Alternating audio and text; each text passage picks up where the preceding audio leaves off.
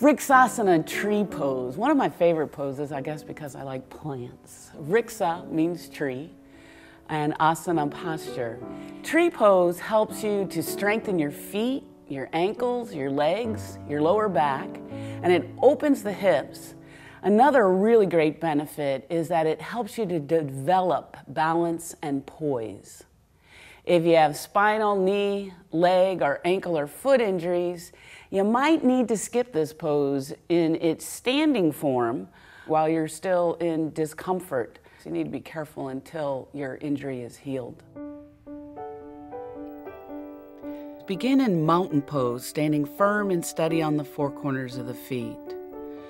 Bring one foot to the inner groin of the standing leg. Press the foot into the thigh and the thigh into the foot. As you're ready, you can bring hands into Anjali Mudra Extend your arms out to the sides or bring your arms up overhead, or a little bit more difficult version, bring the palms of the hands together. As you're ready to come out of the pose, extend the arms out to the sides. Bring your arms and your foot back to Tadasana, mountain pose.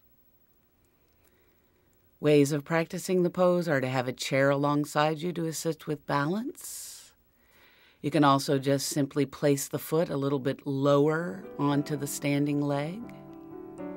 You can practice the pose facing a wall, with your back against the wall, with your standing leg side against the wall, or practice Vriksasana lying on the floor.